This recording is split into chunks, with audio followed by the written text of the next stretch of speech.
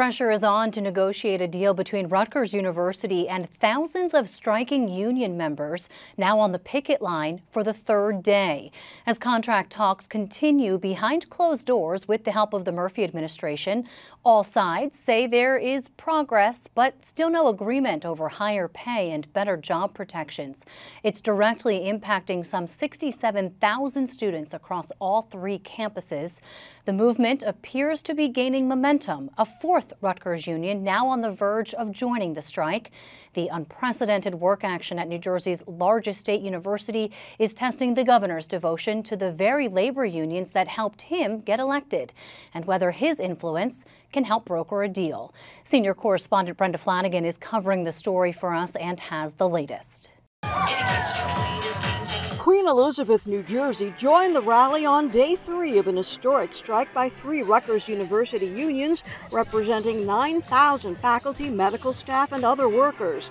After months of negotiations, they walked out for higher wages and job security, not just for full time educators, but crucially for part time adjuncts and grad workers, too. The way we are going to win this strike is by solidarity and numbers on these lines. Right. It is creating the pressure that we need to put money magically on the table. Our pressure and our picket lines are working, that there has been progress on economic issues at the table, that we are moving in a, a good direction, but we are not there anywhere near there yet on the big structural issues around adjuncts and graduate workers. This is not just about raises.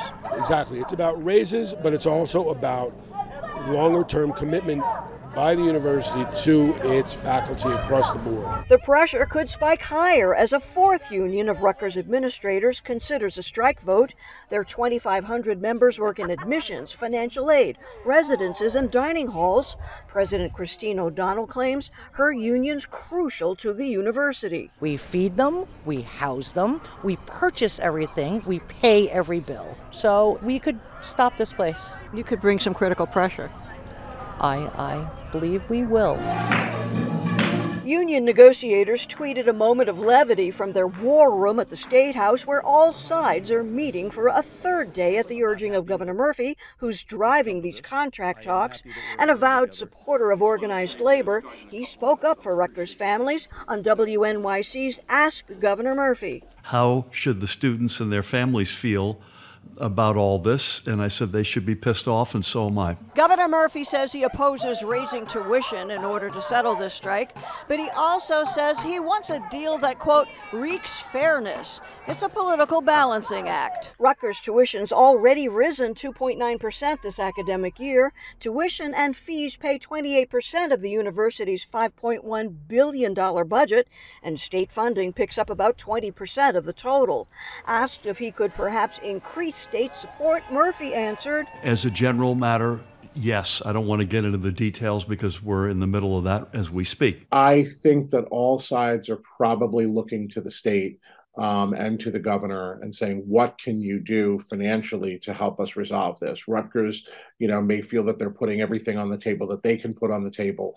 Um, how can we head off uh, you know, taking this purely on out of tuition. Rider's Micah Rasmussen says unions who've backed Murphy are looking for solidarity now after supporting his candidacy for governor. This is the time that tests those close relationships that the governor has with the unions. They're looking for support back in return, right? No justice, no Picketing continues at Rutgers campuses across New Jersey. Some 67,000 students attend the state university, and many report canceled classes.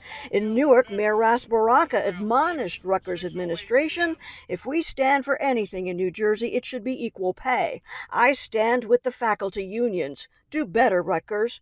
In fact, there's a disconnect felt by faculty in Newark and Camden, a perceived lack of equity with the administration in New Brunswick. There is this kind of austerity for Camden because Camden isn't uh, bringing in the same kind of tuition dollars as, as other places. That's one of the reasons you're seeing folks out on the line in such numbers here in Camden. This fight is part of, of this really long struggle for you know equity for Camden. The university says it's bargaining in good faith.